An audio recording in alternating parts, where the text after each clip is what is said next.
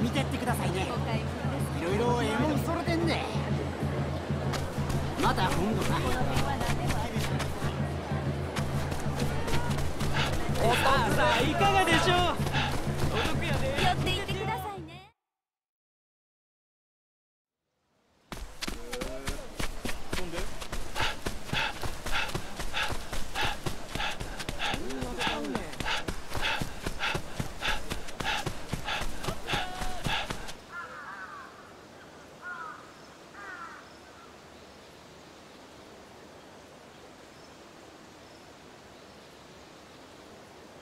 ここか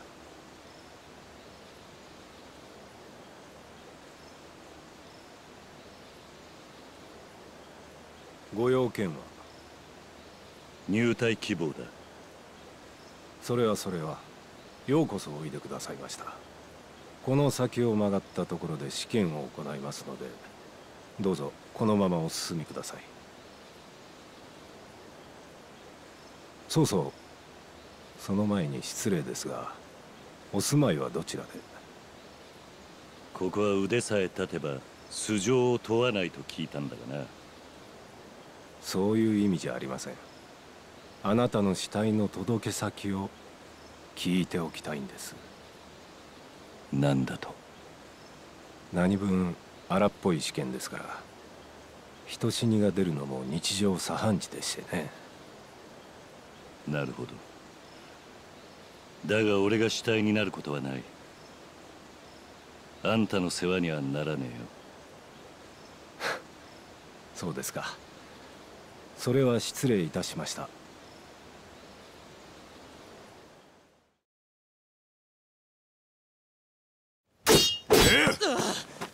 そう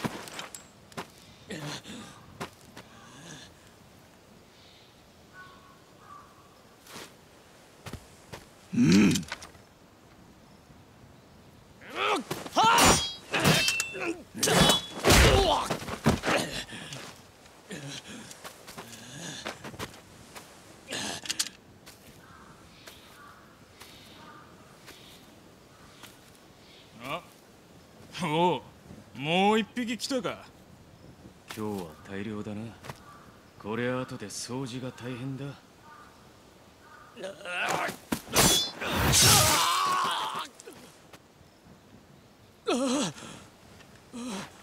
終わりや。はよ医者にかかった方がええ。命は助かるやろ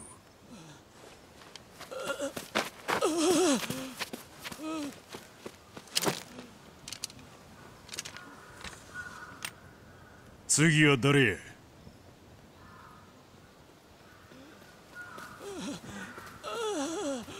野良犬とはよく言ったもんだな。心配になってきたぜ。半端な腕やから切り落としたまで。あんたも心配なんやったら帰った方がええ俺が心配しているのはあんたを切っちまうと不合格なのかってことだ心配すな。そん時は文句なしで合格や。ついでに二番隊隊長の席も譲ったる。二番隊隊長？俺の席や。新選組二番隊隊長長倉新八。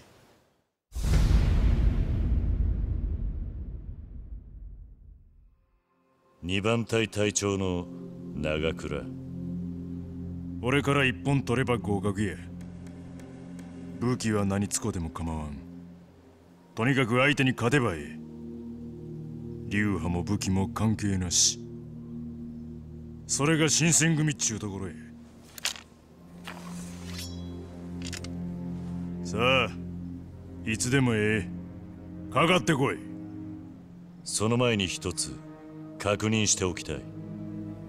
なんやあんた新選組にはもう長いのか？ああ。結成前からの付き合いや。それがどないして？つまりあんたは新選組の古参幹部。天然理心流の使い手ってわけだな。なんや。目的は新選組やのうて道場破りっちゅうことがそんなことはない。ただ確認したかっただけだ。そうか。試験なんぞで出す気はなかったがあんたにはこっちの構えで相手したるわ。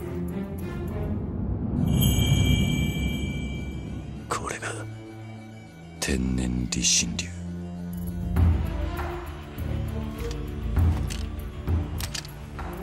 覚悟はええなああ。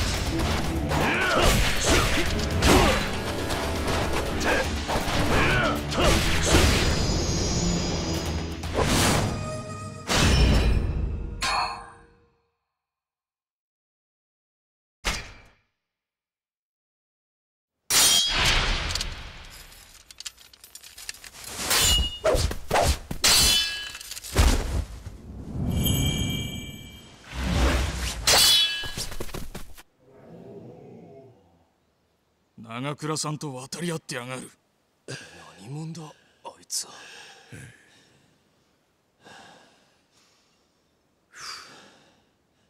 俺の天然理心流の攻撃を受けても死なん奴がおるとはな。お前ならここでも生き抜くかもしれへん。何を言ってる。合格やまだ一本取ってないか。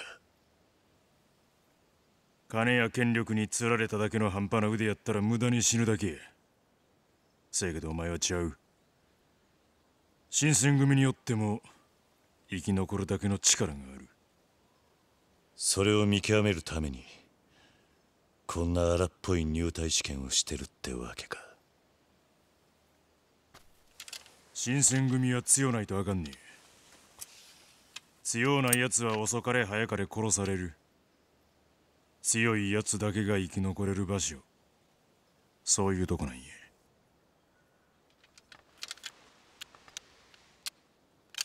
で俺の天然理心流はどうやったんや？期待に応えることはできたんかい？相当な腕前だな。だが。あんたの剣筋には殺意がない。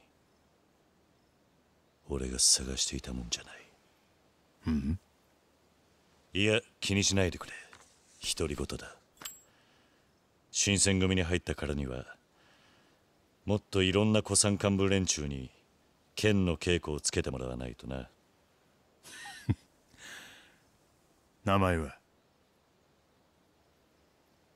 斎藤はじめだ斎藤か。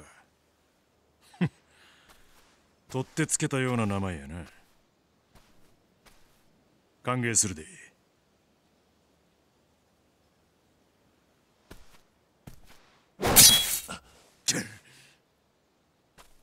新選組はいつから青春活劇の舞台になったんや？甘いな新八ちゃん。甘々や。掃除。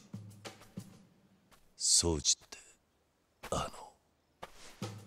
せやわしがあの一番隊隊長沖田総司や。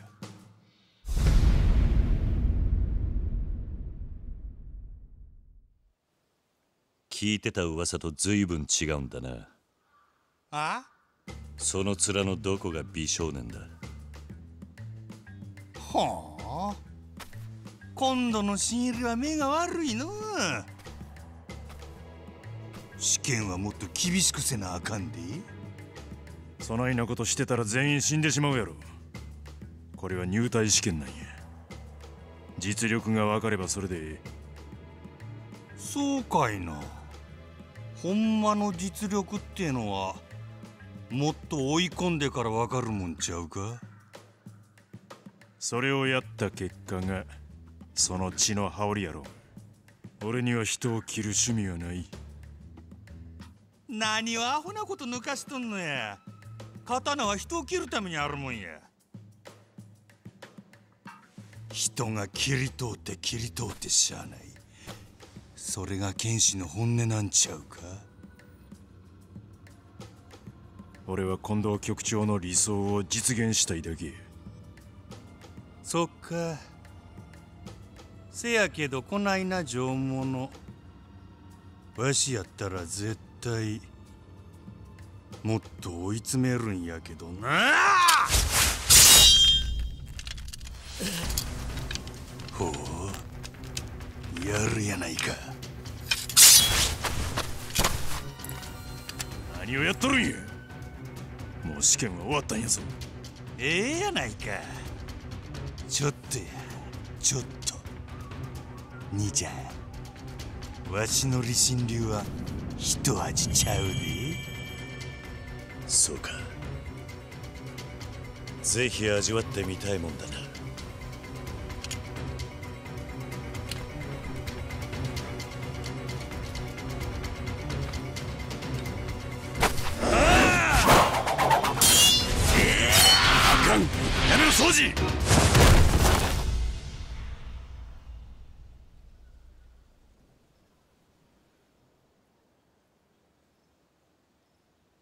わしの勝ちやな。引き分け。あ？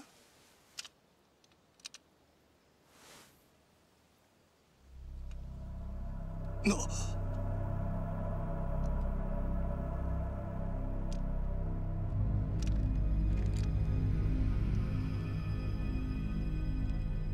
お前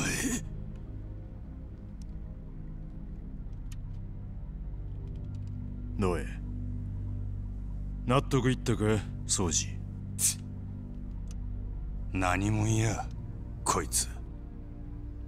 そこまでだ。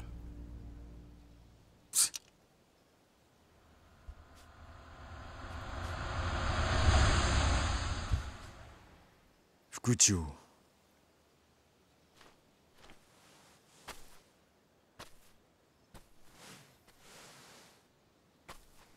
新選組副長の土方歳三と申します。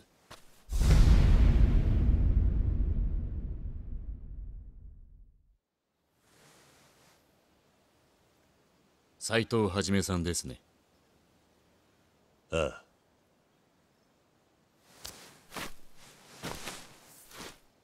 長倉との試験試合そしてこの狂犬とのやり取り一部始終拝見させていただきましたそこであなたに折り入ってお話ししたいことがある。なんだ？このような場所では何です。今晩祇園の椿楼という料亭でお会いしませんか？二人きりで。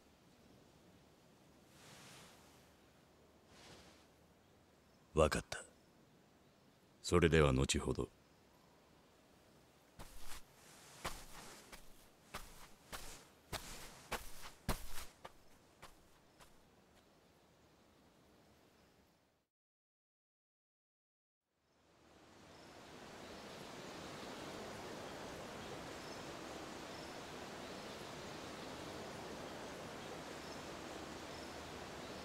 結構やるやないか兄ちゃん。あんたもな。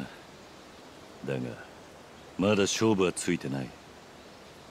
なんなら続きをやってもいいんだぜ。やめややめや。今日はどうも調子が出えへん。仕切り直しや。ほな。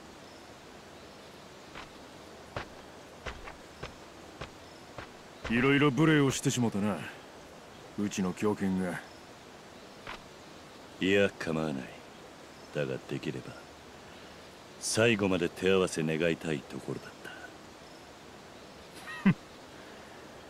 た。奴の剣は俺の力で押す剣と違う。速さで圧倒するもんや。掃除の理心流はどうやった？まだじっくり見せてもらったわけじゃない。だが可能性はあるな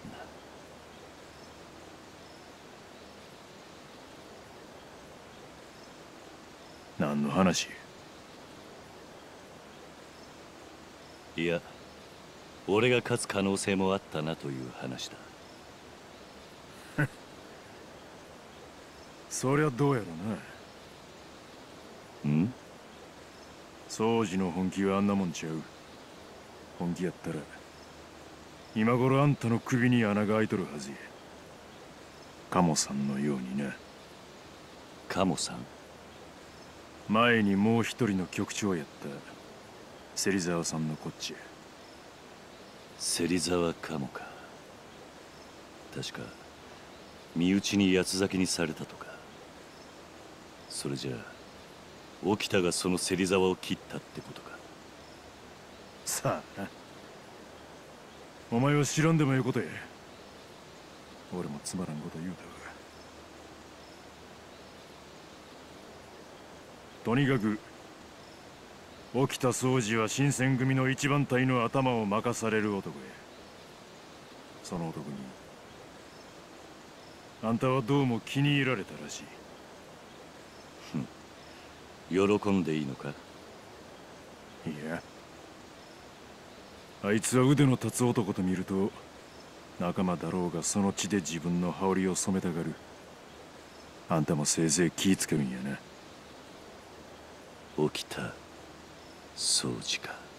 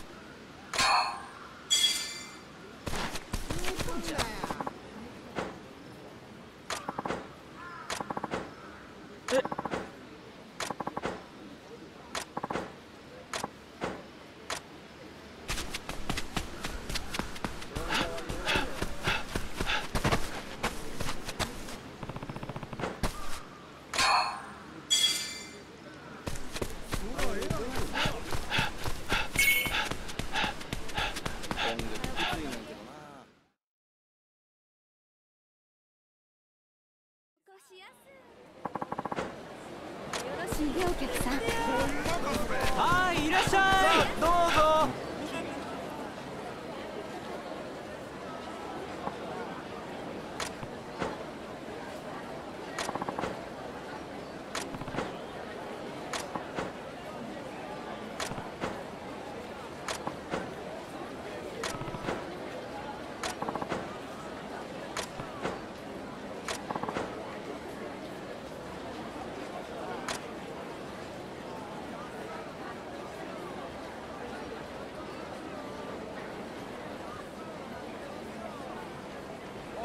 お得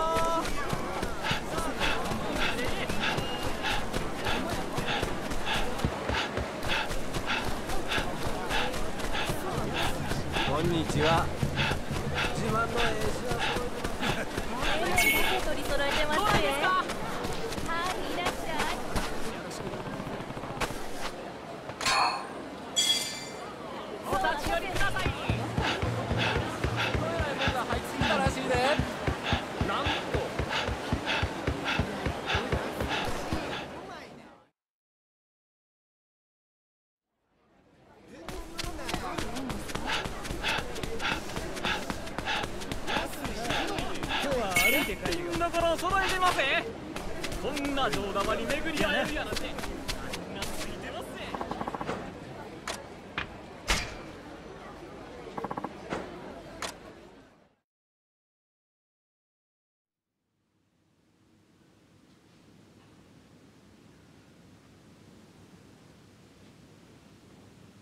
ね。ようこそいらっしゃいました斉藤さん。随分な歓迎だな。俺の席がないようだが。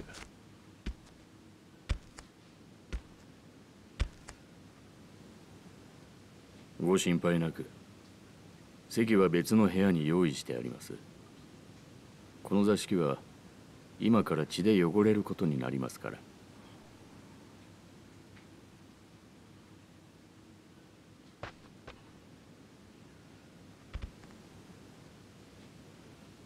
天然理心流にご興味がおありのようで。ああだがただの好奇心だ。気にしないでくれ。理心流は江戸市営館のみに伝わる田舎流派。北進一刀流。神道無念流といった主流派とは違い知っている者も少ないはず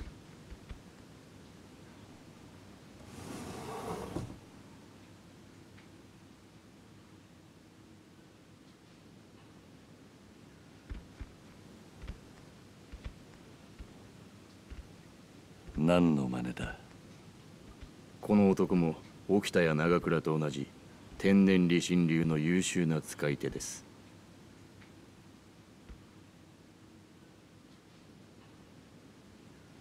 今からこの男と殺し合っていただきたい。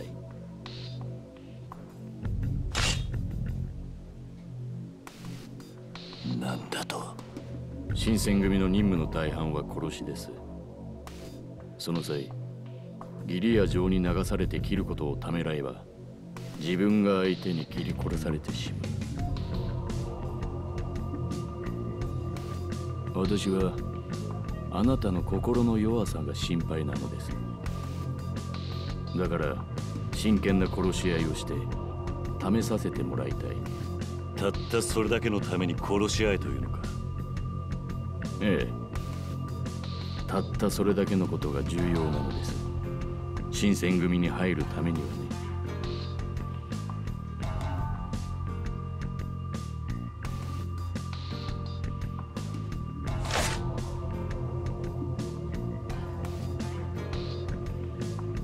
斉藤さんこの男に殺しへの躊躇はありません。あなたもそのおつもりで。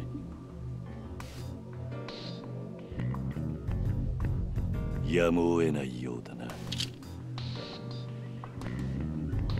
ええ。どちらかが死ぬまで立ち会っていただきます。では。始め。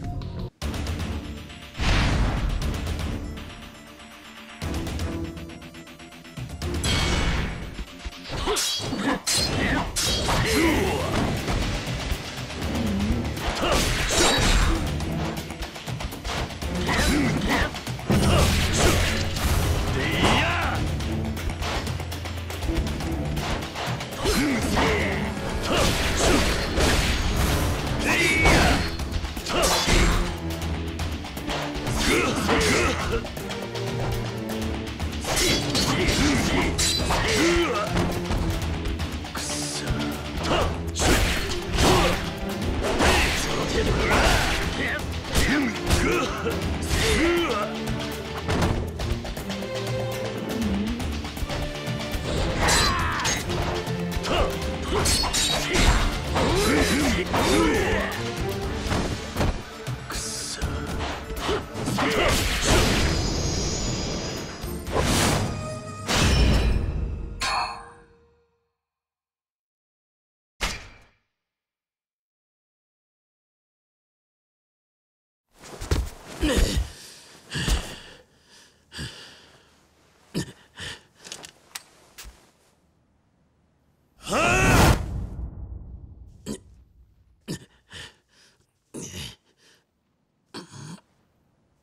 勝負はついたこいつは死んだも同然だ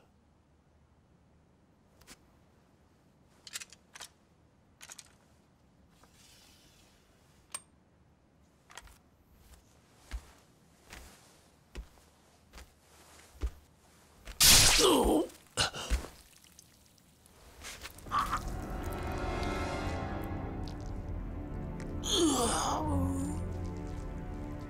をしてるんだ？お前。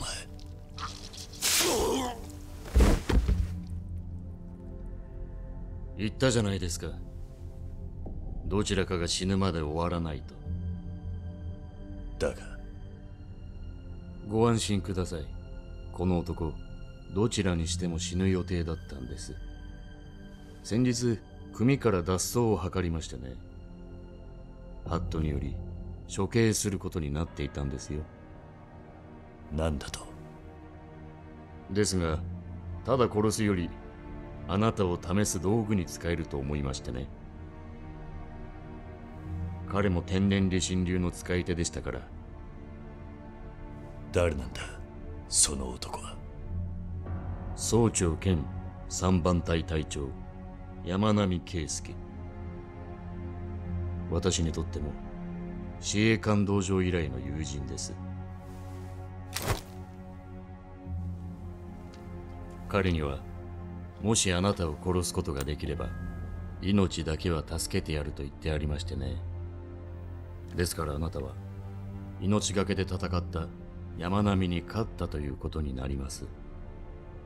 そうやって俺を試した目的は何だ？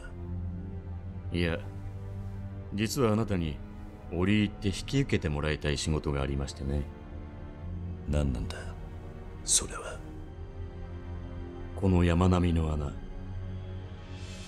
三番隊の隊長を引き受けてもらいたい。俺に隊長さあ無粋な話はここまでだ。席を変えて新選組の未来について語り明かしませんか。斎藤はじめ君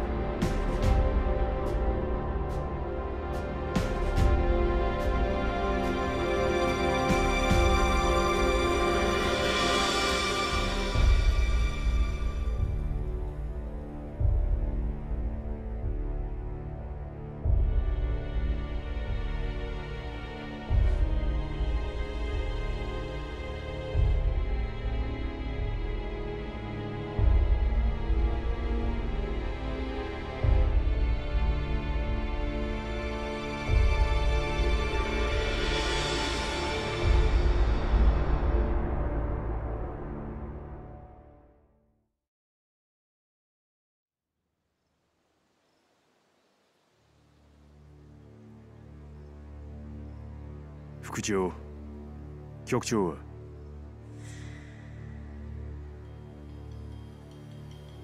近藤局長は所用につき欠席です。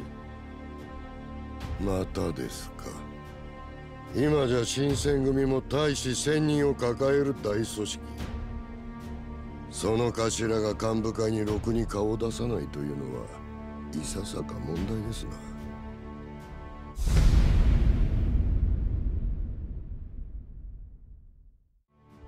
幹部会を通じて局長からの指示は私が伝えています。組の運営も極めて順調に進んでいる。それでも何か問題が？伊藤さん。今はそれでいいですがね土方さん。これからもっと組は巨大になるでしょうし派手な戦も起こるでしょう。そんな時に頭が目の前にいないというのは参謀の私としては見逃せない事態なんですがね。いっそのこと新しい局長を決めるっちゅうのはどうです？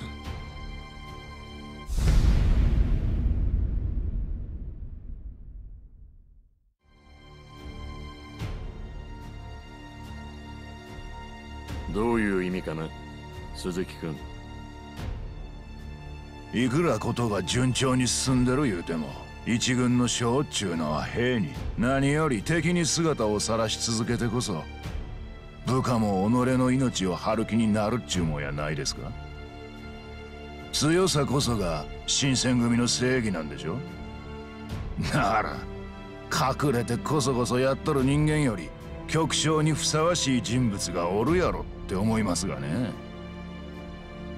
君の言うふさわしい人物というのは伊藤さんのことを指しているのかね？いやそんなことは別に。そうか。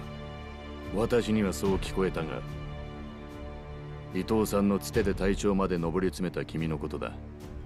伊藤さんに恩義を感じるのは当然だが発言には気をつけた方がいい。お気遣いどうも新選組は近藤局長を中心に動きます。これまでもそしてこれからもね。参謀の伊藤さんはどうぞ心配なく。わかりました。ま局長には伊藤が心配してましたとお伝えくださいよ。伝えられるならの話ですが。どういう意味ですか？ああいやこれはあくまで噂ですがね。実は局長はとっくに死んでるんじゃないかって。そんな話があるんですよ。根も葉もない噂だ。そうでしょうな。私もそう思います。でもこんな噂が立つのも無理はないでしょう。ここしばらくの間で近藤局長に会ったことのある人間がどれだけいますかね。なんせ参謀の私ですら入隊時に一度お会いしたっきりですからね。局長の不在をいいことに土方さんら元司令官の方々が新選組を私物化しようとしている。なんて実にけしからんことを言うやつも出てくる始末で。いやはや実にけしからんですな。そんな状況なわけです。よろしく頼みますよ副長さん。もちろん。いつまで小難しい話してんねん。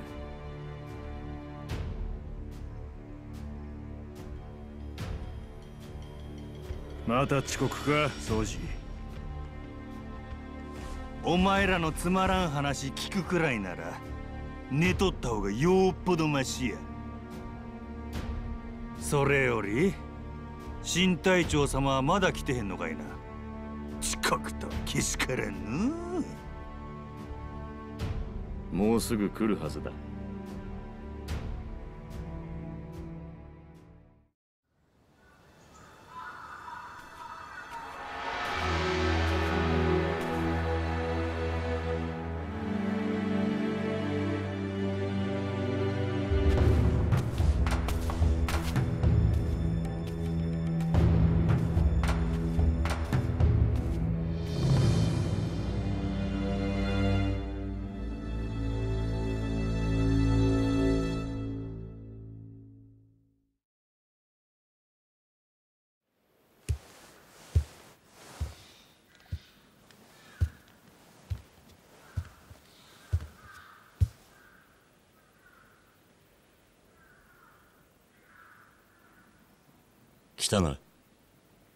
こちらへ。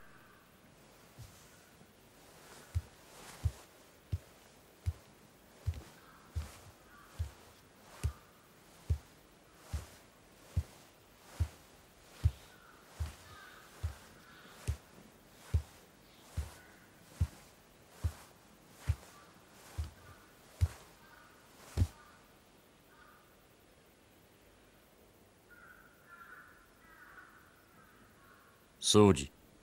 ああ？はいはい。揃ったな。皆三番隊隊長就任の件は聞いているな。斉藤君。三番隊隊長の斎藤はじめです。以後大見資料記を三番隊隊長だ。こいつ昨日入隊したばかりだって話じゃねえか。そんな奴に隊長の座任せちまっていいんですかね。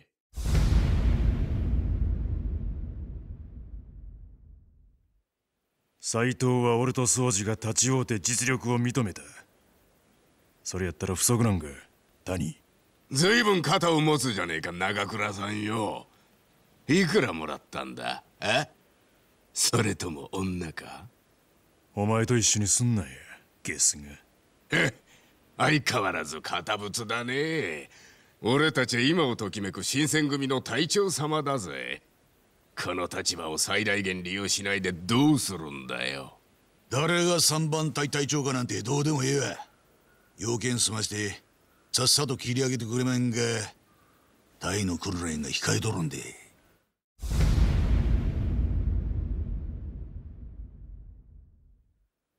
隊の訓練ね。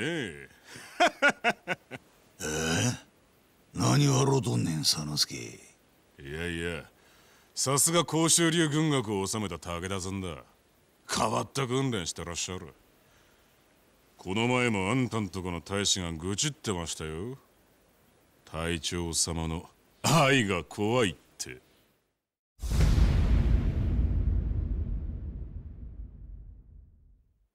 心も体も教育するんがわしの信条やなんなら踊れも味わってみるか幹部会だぞ。余計な口を開くな。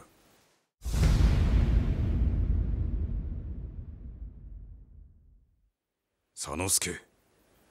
隊長のお前がそういう態度をとっているから十番隊は素行が悪いのだ。口を慎め。へいへい。新選組の小獣とが斎藤君には明日から任務についてもらう。松原君その時に任務を一通り説明するように。なぜ私が？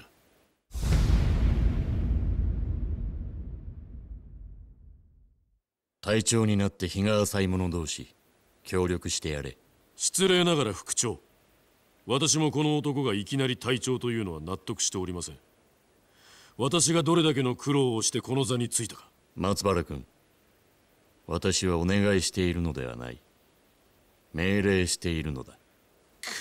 はいはい。じゃあ俺が教えますよ。こう見えて教えるのうまいんですよ俺。いいでしょ？土方さん。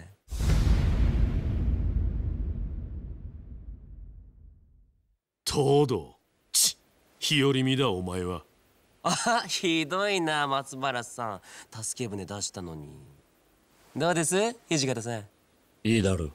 では斎藤君の件は平助に任せる。了解です。じゃあ明日。それともう一件。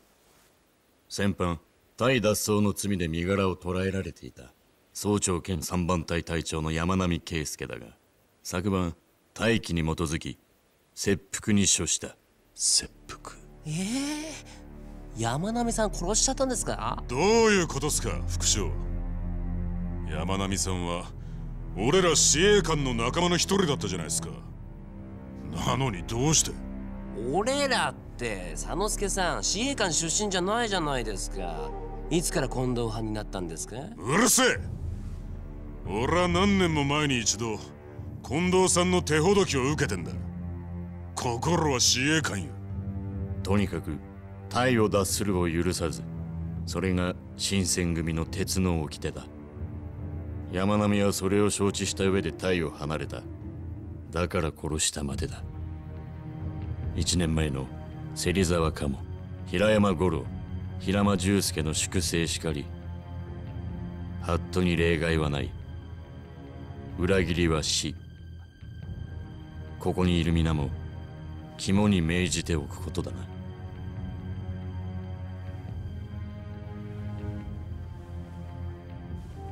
我々の働きに幕府も信頼を寄せている。各隊さらなる働きを期待する。以上だ。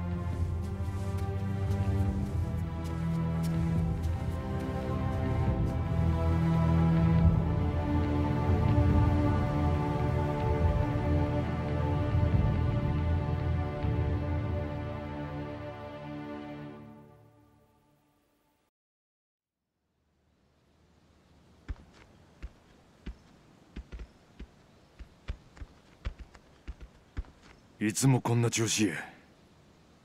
局長の近藤がいないのもいつも通りか。ああ。糸も言うとったんがとっくに死んどるんやないかなんて噂が立つのもまあ無理ないわ。そうか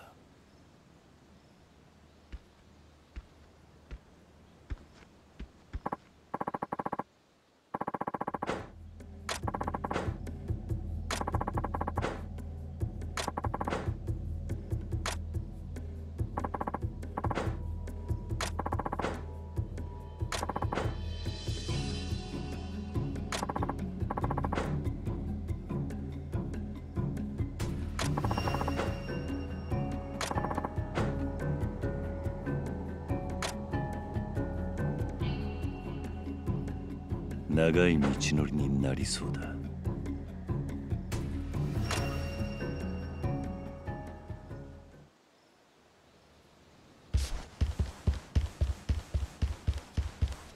斉藤さん。お前は？東堂ですよ。東堂平介。仕事の説明は明日からじゃなかったのか？それとは別件でしてはいこれ。これは？新選組名物浅黄色の羽織です。しかもこれは隊長のみが着用を許された隊長格仕様です。明日からこれ着てきてくださいね。隊長としてパリッとしてもらわないと。じゃお疲れ様でした